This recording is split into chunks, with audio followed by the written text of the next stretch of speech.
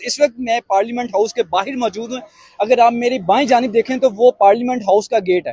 اور اس کے باہر کی جو اس وقت صورت حال ہے، بھاری نفری موجود ہے اسلام آباد کی۔ اور اگر میرے پیچھے دیکھیں، عقب میں اگر آپ کو جو سکواڈ نظر آ رہی ہے اینٹی ٹیررزم سکواڈ ہے۔ اینٹی ٹیررزم سکواڈ کے بھی دو دن گاڑیاں آئی ہیں۔ اس سے پہلے ہم نے دیکھا کہ اسلام آباد پولیس کی بھاری نفری یہاں پہ آئی۔ اگر میں آپ کو اس وقت لائیو صورت حال دکھاؤں پارلیمنٹ ہاؤس کے گیٹ کے بالکل باہر کی، تو یہ صورت حال ہے کہ اس وقت یہاں پہ بھاری نفری موجود ہے، جس میں فیمیل سٹاف بھی موجود ہے میل سٹاف بھی موجود ہے اور اسلام آباد کی پولیس بھی موجود ہے، اس کے ساتھ ساتھ اینٹی ٹیررزم سکواڈ بھی موجود ہے میں آپ کو دکھا سکتا ہوں اس وقت یہ کہ یہ اس وقت صورت حال ہے، یہ آپ دیکھ سکتے ہیں اس وقت اسلام آباد پولیس کی بھاری نفری اس وقت پہنچ چکی ہے۔ اور اندر جو ہے، وہ اس وقت سیشن چل رہا ہے نیشنل اسمبلی کا اور سپیچ کی بات کی جائے، ابھی عمر ایوب سپیچ کر رہے ہیں۔ یہ بھی ہو سکتا ہے، کل جلسے کا جو ٹائم تھا، دو بجے سے لے کر سات بجے کا دیا گیا تھا، اور اس کے بعد کہا گیا تو جو جلسہ تھا، وہ نو بج کے پینتالیس منٹ پہ ختم ہوا۔ یعنی کہ این او سی کا جو مقصد تھا، اس کے بعد انہوں نے قانون توڑا ہے۔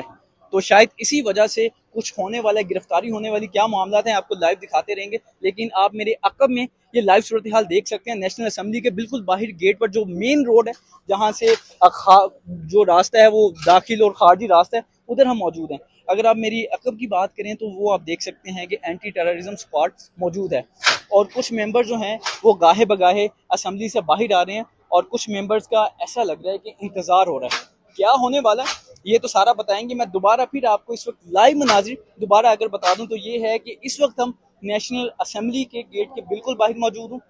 جہاں پہ اینٹی ٹیررزم سکواڈ موجود ہے، جہاں پہ اسلام آباد پولیس کی بھاری نفری موجود ہے اور جہاں پہ پریزن وین موجود ہے۔